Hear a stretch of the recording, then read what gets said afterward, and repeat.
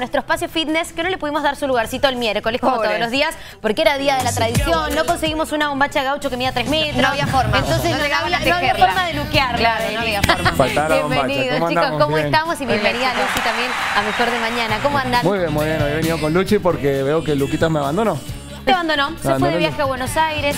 Bueno, zafó, alguna semana tenía que zafar. que zafar, así que bueno, hoy vamos a trabajar con Luchi y vamos a trabajar eh, piernas, una rutina para hacer en casa. Dale, Muy perfecto. me simple, son cinco ejercicios, este, se puede agregar un sexto ejercicio y vamos a trabajar todas las piernas completas, ¿ok? Dale, me encantó. Así que vamos a mostrar el primer ejercicio, se llama caminata lunar o estocadas dinámicas. Sí. El ejercicio consiste en ir en este formato de estocadas, avanzando hacia adelante y haciendo cierta cantidad de pasos establecidos. En este caso, vamos a poner series y repeticiones para que lo puedan aplicar en casa y son 20 repeticiones por pierna, o sea, 40 pasos en total. Perfecto. Algunos conceptos técnicos rápidos son que los pasos sean bien largos, Ajá. bien largos y la profundidad de la zancada sea máxima. O sea que la rodilla no hace falta que toque el suelo para que no duela, pero que Pero roza al menos. Claro. ¿no? Y, eso, también la velocidad, ¿o no? la velocidad súper controlada. Vamos de vuelta Luchi para este lado.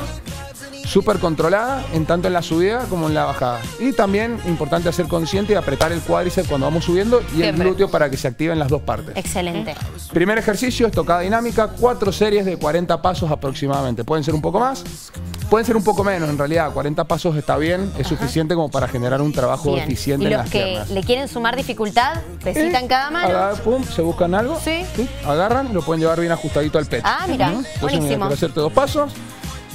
Hacerte dos pasitos, abrazando el peso. Si son mancuernas, las pueden llevar al costado.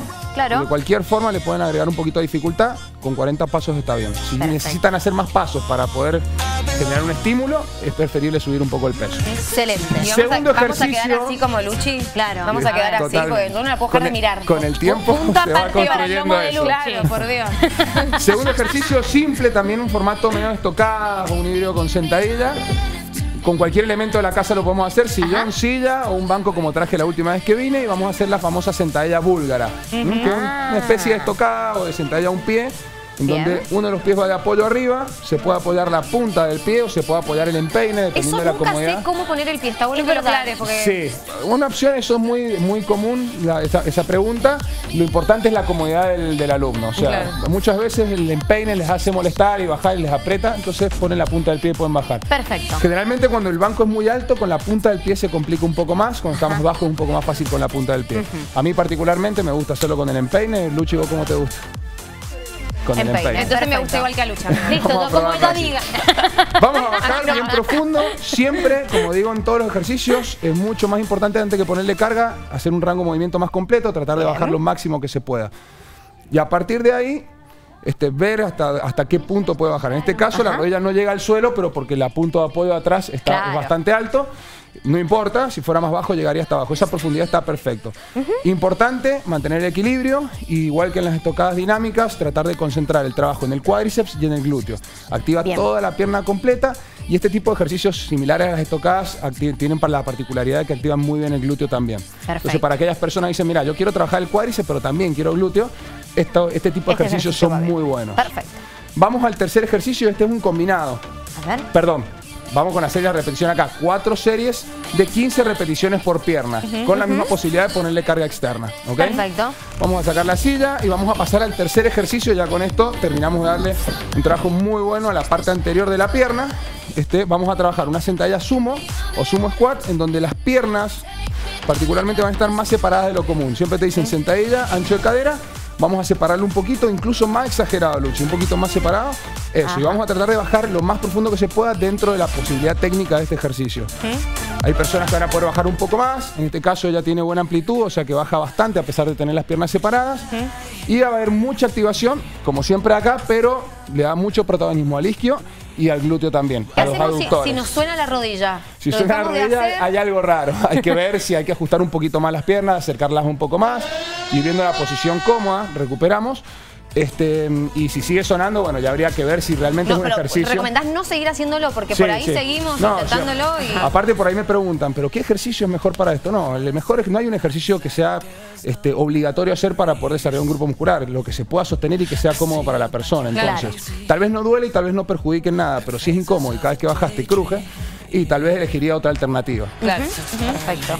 Estas son 20 repeticiones, pero ¿qué pasa una vez que ejecutamos las 20 repeticiones? Inmediatamente nos vamos a quedar abajo y vamos a hacer rebotes o bounce. Uy, ahí Ese te es el mata. movimiento. Entonces, Ese en total me son mata. unos 40 repeticiones. Entonces, este ejercicio consta de dos, con- de- de un- dos ejercicios combinados. Primero la sentadilla sumo tradicional y después los rebotes, donde vamos a hacer otras 20 repeticiones, completando cuatro series en total. Recuperamos. Ese sería, ya estamos en el tercer ejercicio. Cuádriceps, aductores, glúteos y ahora sí vamos a ir a la parte posterior bien localizada. ¿Qué ejercicio les traigo para esta alternativa? ¿Qué pasa? Cuando estamos en casa no tenemos mucho peso, mucho material, entonces lo, que yo recomiendo es, bueno, vamos a trabajar a una sola pierna para que con mucho menos carga Claro. podamos hacer un trabajo Cargamos una pierna. y- eficiente. Entonces vamos a hacer una de las alternativas de peso muerto que es V-Stance, que es con ese apoyo raro, que es con la piernita un poquito más atrás, apoyada, pero el trabajo no va a esta pierna, sino que va a la pierna Claro, de adelante. Exactamente. Importante en, esto, en este trabajo, ponete un poquito más adelante y de costado, así lo podemos visualizar. Vamos, eso.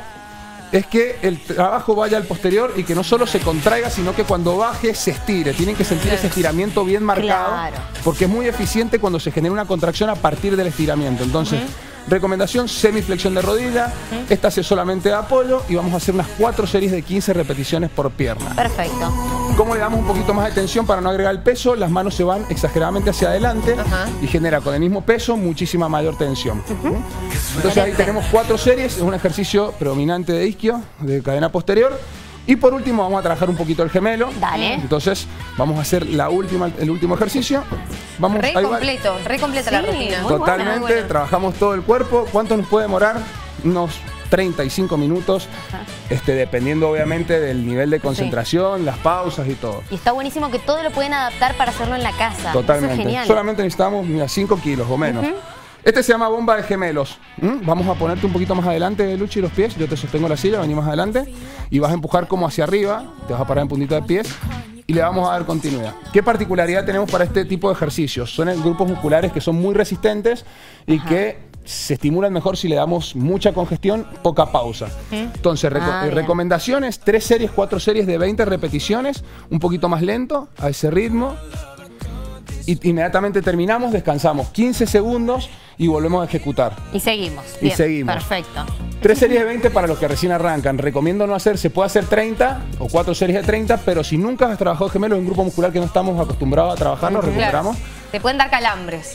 Duele feo, duele Sí, feo porque duele si feo. nunca lo has hecho, Sí. después me ha pasado que me no, pero si no pasa nada, en el momento no pasa nada, pero el otro día venimos medio rengos atrás a Luchi entrenar de dice vuelta. que sí con la cabeza. Ya ha pasado. Entonces, recomendaciones que escuchan de aquel lado, este, traten de probarlo primero, 20 repeticiones, 3 series, 15 Excelente. segundos de pausa y después si estamos bien, en la próxima le incrementamos Bueno, un nos poquito. encantó el Buenísimo. aplauso entonces Muy para completo. el profe Denis y para Luchi hoy, esta rutina completísima de piernas. No tienen excusa, es muy fácil para hacerla en casa. Así que gracias, Muchísimas chicos. ¿eh? Un gusto chicos. siempre. Gracias.